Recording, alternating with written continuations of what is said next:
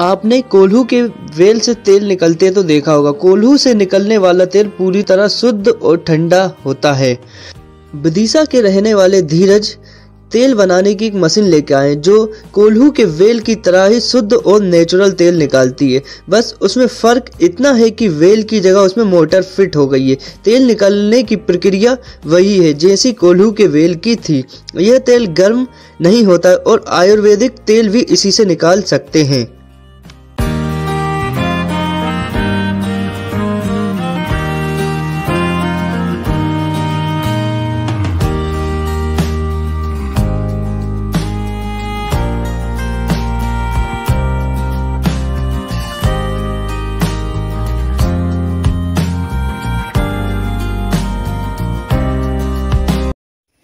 नमस्कार, मैं धीरज पराते पराते ऑर्गेनिक से।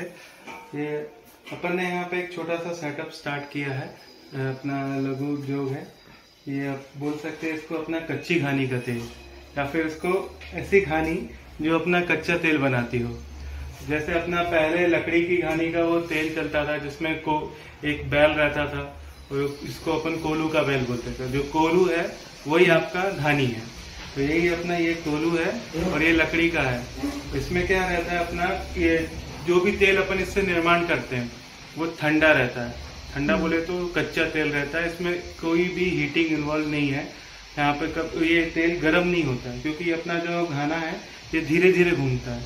इसकी मैक्सिमम स्पीड रहती है सत्रह से अठारह राउंड पर मिनट और इसमें अपन अपने वाले में ये अंदर पत्थर का है।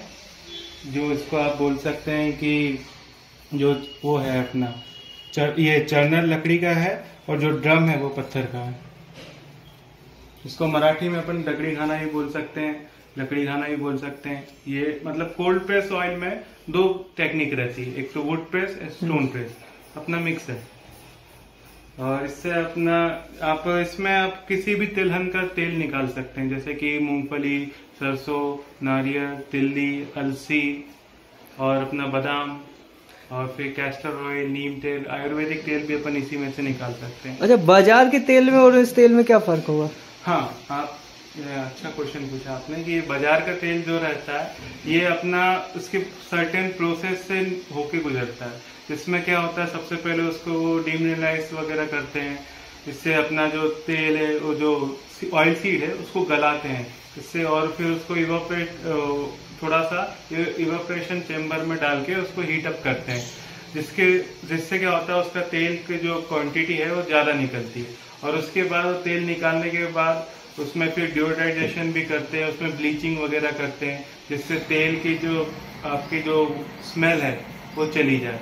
लेकिन अपना इसमें क्या रहेगा कि आपको जस्ट आपके आँखों के सामने ही आपको दिखेगा कि सिर्फ़ अपना ऑयल जो सीड है, वो सिर्फ़ क्रश हो रहा है। मतलब उसको अपन दबाते उसका हल्का सा पानी का खिंचाव भी करते हैं, उसमें थोड़ा सा और उसको दबा के उसका तेल निकल जाता है। तो ये जो तेल रहता है, इसमें सारे जो भी गुणवत्ता रहती है, उसके एक दाने में, मूंगफली के दाना अपन जो खाएँ, उसमें आपको जो भी आपको प्रोटीन कंटेंट मिलेगा और जो माइक्रो न्यूट्रिएंट्स मिलेंगे, सेम उसके तेल में भी मिलेंगे, क्योंकि ये गर्म नहीं हुआ एक बार भी और मार्केट का तेल तीन चार बार वैसे ही गर्म हो जाता है।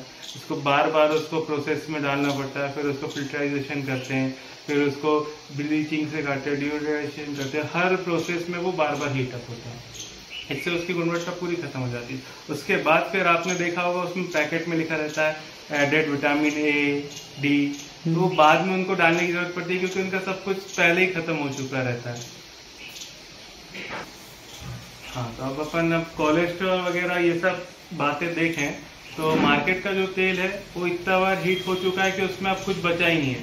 तो अब वो देखा जाए तो अपने शरीर में वो जाता है अब तो वो बैड कोलेस्ट्रॉल ही अपने बॉडी में क्रिएट करता है। जबकि इसमें क्या है गुड फैट्स वगैरह रहता है। तो ये अपने बॉडी में जो एग्जिस्टिंग है फैट्स और जो कोलेस्ट्रॉल है, उसको ये इसका जो रहता है, इससे गुड कोलेस्ट्रॉल बनता है, जिससे वो बॉडी से रिएक्ट करता है और अपने बॉडी को ठीक करने की कोशिश करता है। और इससे अपन देखा जाए तो लॉन्ग टर्म में अपन यूज़ करें। जिससे अपन को डायबिटीज़ और अपना जो ये सब जो, अपने रूटीन जो खराब होने से जो भी बीमारी हो रही है आजकल, वो सब धीरे धीरे कम होती जाएगी। आपकी बॉडी भी स्वस्थ रहेगी, आपको अच्छा खाना मिलेगा। तो वही बोलते हैं ना, स्वस्थ जैसे भोजन, स्वस्थ जीवन। जैसे आप देख सकते हैं, ये अपने घानी से निकले हुए सारे तेल हैं। जैसे ये अपना मूंगफली का तेल है। ये सरसों का है।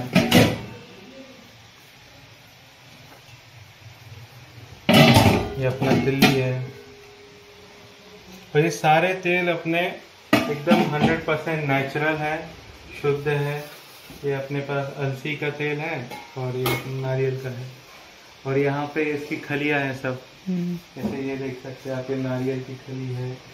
फिर इसमें अपनी तिल्ली की है मूंगफली की है अलसी की है सरसों की ये सारी खलियाँ हैं ये अपने अपन गाय भैंस मवेशियों को दे सकते हैं जिससे उनका दूध का उत्पादन भी बढ़ता है और आपका उनको जो होने वाली रोगों की समस्या से भी उनको दिक्कत नहीं होती। है